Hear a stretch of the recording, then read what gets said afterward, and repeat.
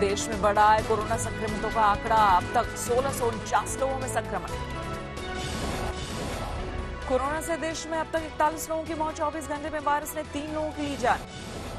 महाराष्ट्र में कोरोना का कोहराम, अब तक सत्रह लोगों की मौत। महाराष्ट्र में कल सात लोगों की कोरोना से मौत, सिर्फ़ मुंबई में पाँच लोगों ने तोड़ा दम। मुंबई के स्लम इलाके धारावी में रहने वाले एक शख्स की मौत, स्वास्थ्य विभाग के लिए बड़ी चुनौती। महाराष्ट्र में कोरोना के अब तक 335 मामले, मुंबई में एक सौ इक्यासी लोग कोरोना पॉजिटिव महाराष्ट्र के आंकड़ों में एक बात बेहद खतरनाक 12 फ़ीसदी मरीजों को संक्रमण किससे हुआ, ये पता नहीं हालात को लेकर पीएम ने उधर से बात की। जयपुर में 30 से ज़्यादा लोग कोरोना पॉजिटिव, ड्रोन से की जा रही है संवेदनशील इलाकों की निगरानी। दिल्ली में डेढ़ सौ से ज़्यादा लोगों में कोरोना की पुष्टि 24 घंटे में सामने आए बत्तीस नए मामले। सिरसा में कोरोना के तीन केस मिले पॉजिटिव, महिला और दो बच्चे आए थे चंडीगढ़ से। कोरोना संकट के बीच नोएडा में एक और बड़ा बदलाव, डीएम के बाद गौतम बुद्ध नगर के सीएमओ अनुराग भार्गव का तबादला। गौतम बुद्ध नगर के नए सीएमओ होंगे डॉक्टर एपी चतुर्वेदी नोएडा में कोरोना के बढ़ रहे मामले, बड़ी चुनौती। यूपी के गोरखपुर में कोरोना वायरस से एक युवक की गई जान, मौत के बाद रिपोर्ट में पुष्टि। सामान्य वार्ड में चल रहा था मरीज़ का इलाज। वार्ड के दूसरे मरीज़ के रिश्तेदार, डॉक्टर, कर्मचारी और एंबुलेंस ड्राइवर को भेजा गया आइसोलेशन में। दिल्ली के बारह हिंदुराव अस्पताल में कुछ डॉक्टर और नर्सों ने दिया इस्तीफा, सुविधाओं की कमी का हवाला। ओडिशा में 60 साल का एक शख्स कोरोना पॉजिटिव, ओडिशा में कोरोना का पांचवा मरीज़। असम के गोलपारा में सामने आए कोरोना के तीन मामले, असम में अब तक 16 कोरोना के मरीज़। तेलंगाना में कोरोना के बारह नए मामले, एक शख्स की मौत। मरीज़ की मौत के बाद अस्पताल के डॉक्टर पर रिश्तेदारों ने किया हमला, मृतक का भाई भी कोरोना पॉजिटिव। हरदोई में जिला अस्पताल के क्वारंटीन सेंटर पर महिला ने किया हंगामा। दिल्ली से लौटने पर उसे रोक लिया, पति और बच्चे को घर भेजा।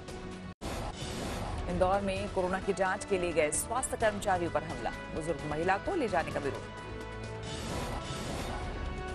स्थानीय लोगों की तरफ़ से पुलिस पर पथराव, पुलिस ने दर्ज किया केस। इंदौर में महाराजा यशवंतराव अस्पताल की डॉक्टर निकली कोरोना पॉजिटिव, बीस डॉक्टर्स के संपर्क में आने की जानकारी। संपर्क में आने वाले डॉक्टर्स के लिए जा रहे हैं सैंपल, मरीजों की बनाई जा रही है लिस्ट। इंदौर में कोरोना के बारह नए मामले, शहर में अब छिहत्तर लोग कोरोना पॉजिटिव। मध्य प्रदेश में अब तक कोरोना के निन्यानवे केस, छह लोगों की हो चुकी है मौत। जोधपुर में एक स्थानीय शख्स कोरोना पॉजिटिव, शहर में लगाया गया कर्फ्यू। मेरठ में कोरोना वायरस का एक और पॉजिटिव केस मिला। तबलीगी जमात का सदस्य। लॉकडाउन के बीच भुवनेश्वर में बदली गई सब्ज़ी बाज़ार की जगह लोगों की जुटी भीड़। कोलकाता पुलिस ने नेताजी इंडोर स्टेडियम लगाया रक्तदान शिविर, सीएम ममता बनर्जी भी मौजूद। मरकज प्रमुख मौलाना साद का अभी तक कोई सुराग नहीं, कई शहरों में पड़ताल। दिल्ली पुलिस से क्राइम ब्रांच की टीम कर रही तलाश। मौलाना के छह साथी भी निशाने पर। तबलीगी जमात के आयोजकों पर कसा कानूनी शिकंजा मौलाना साद के खिलाफ मुकदमा दर्ज। मरकज में आए विदेशी जमातियों को लेकर केंद्र ने राज्यों को दिया निर्देश, पहली फ़्लाइट से वापस भेजने की हिदायत। मरकज को लेकर अलर्ट पर है प्रशासन, ड्रोन से आसपास के इलाके पर रखी जा रही कड़ी नज़र। होशियारपुर में कोरोना पॉजिटिव मरीज़ की सेहत दुरुस्त है। इटली से आने के बाद बीमार हुए थे गुरदीप सिंह। महाराष्ट्र के चंद्रपुर में पुलिस अधिकारी की पत्नी की पहल पुलिस विभाग के लिए बनाए होम मेड सैनिटाइजर और हैंड वॉश यूपी के सिद्धार्थनगर में तीन महीने के मुफ़्त राशन देने में कटौती, डीलर गिरफ़्तार। कुल्लू में एनजीओ के साथ महिलाएँ जुटी अभियान में दुकानों और सड़कों की सफ़ाई।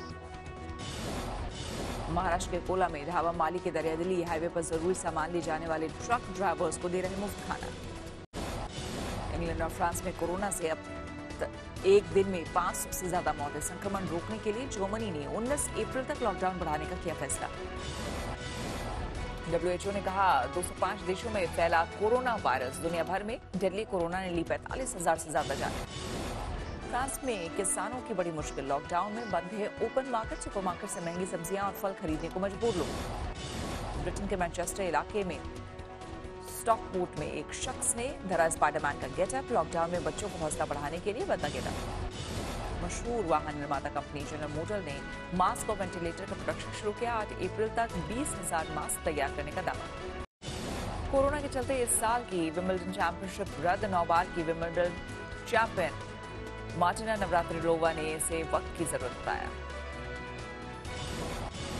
कोरोना के बढ़ते मामलों को देखते हुए चिली ने कॉपर से दोबारा यूज़ करने वाले मास्क का डिज़ाइन तैयार किया। वहाँ के स्वास्थ्य महकमे ने दी मंजूरी।